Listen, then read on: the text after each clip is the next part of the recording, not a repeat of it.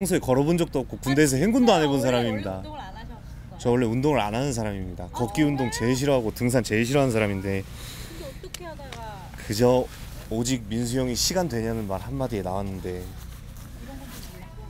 야, 이런 건 줄 알았으면 약속이 있다고 했겠죠. 최소한 한라산 정상 그냥 등반이었으면 이악 물고 했겠죠.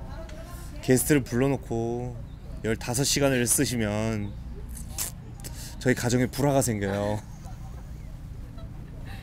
아니 오- 그 민수님의 모든 과정을 봐왔잖아요. 83kg부터 지금 77. 네, 77kg까지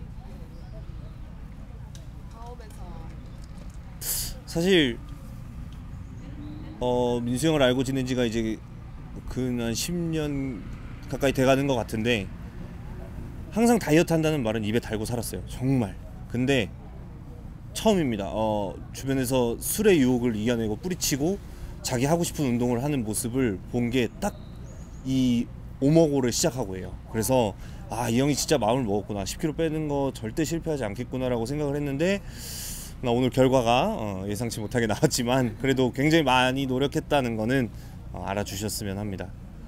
그리고 저희도 진짜 고생했습니다. 알아주세요. 이제 슬슬 영혼이 없어지네요. 음, 오모고 시작하고부터 굉장히 많은 노력을 했으니까 지금처럼 계속 꾸준히 이어가면 어, 진짜 형이 원하는 UFC 선수들처럼 멋진 몸을 가질 수 있을 거라 믿고 꼭 그런 몸이 됐을 때 다시 한번 시원한 맥주 한 잔 먹을 수 있었으면 좋겠습니다.